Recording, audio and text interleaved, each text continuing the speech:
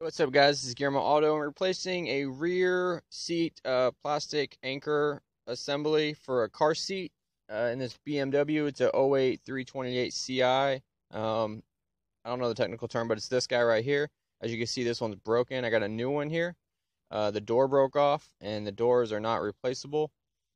So it's really easy to replace and um, I'll give you the part number I had.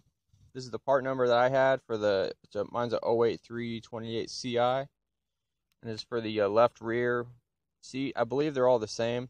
But yeah, I just got a flathead, put it in the top, and just gently pushed out. And it popped out. You might want to use like a plastic pry bar so you don't hurt your seat.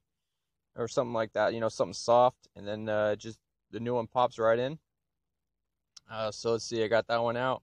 And then what I, you just come here and just gently kind of uh, push each side in until it pops in.